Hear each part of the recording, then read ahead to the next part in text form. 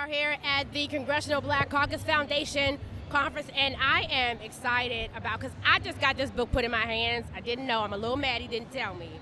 But this is the Transatlantic Slave Trade Overcoming the 500 Year Legacy. And its authors, the legendary, the awesome Dr. Benjamin Chavis, who is also president of NNPA. We've also got Stacy M. Brown, amazing journalist, and the foreword was written by Chuck D. All right.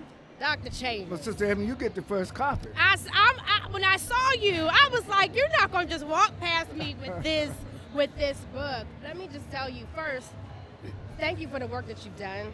Thank you. Even in keeping, helping to keep black media alive, that is Yes. so important in this day and age where we can see our narrative being stolen. Exactly. Well, that's why, you know, I'm a longtime supporter of AURN.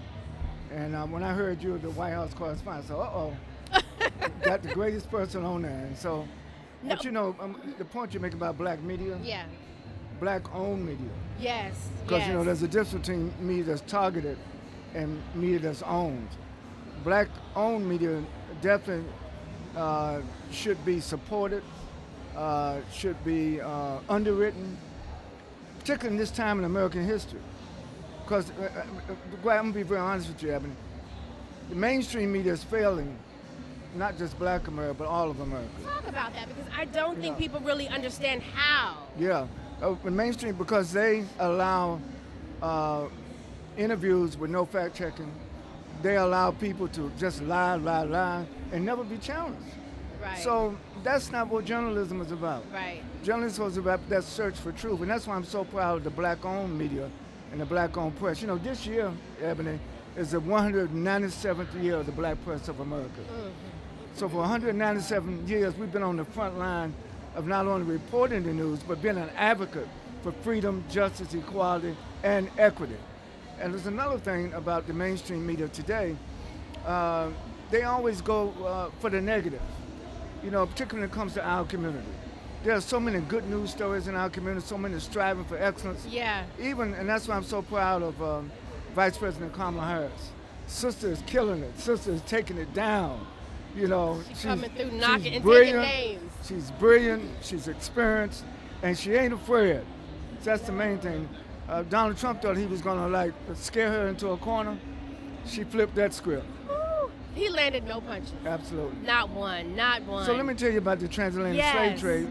Stacy Brown now took us three years to write this book. Mm. Our concern was, again, mainstream publishing treated the, still treats the transatlantic slave trade like it's some momentary incident in human history that Europeans and Americans have really apologized for. Not true.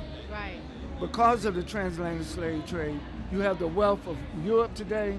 Because of the transatlantic slave trade, you have the wealth in America today. Uh, the wealth in the so-called West came from the enslavement of African people. Another reason why we wrote this book, we thought we needed to quantify what really happened, Yeah. the quantification of our Yes. suffering, you know, so people don't be taking it lightly.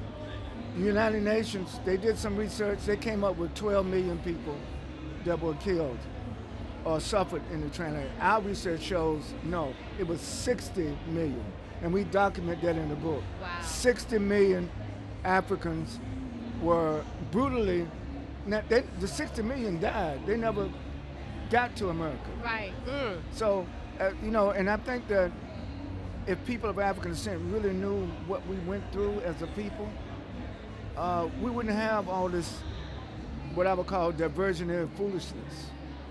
You know, uh, people that don't know their history is a people that will permit the tragedies of history to be repeated.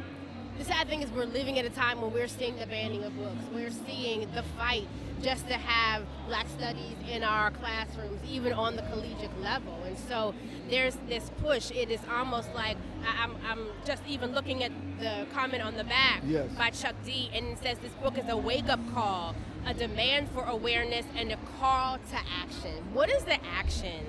The call to action is first, let's get the facts out. That's why we're making history.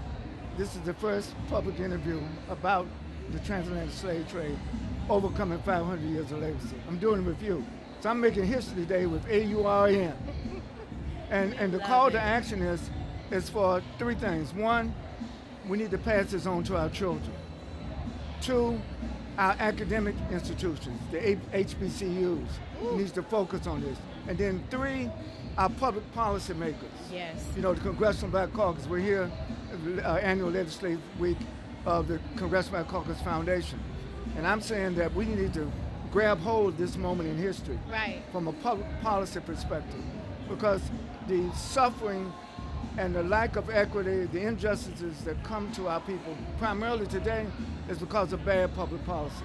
Absolutely. That we're still seeing. And That's before right. you go, uh, you know, And that's why the Supreme Court is trying to dismantle voting rights, the the rights of women, stake all this stuff is at a time when we still have living descendants of the Tulsa massacre. Exactly. At the same At the same time, time, that's right. they are still And, here. and but you have these deniers that the Tulsa massacre ever happened. right. You have these deniers.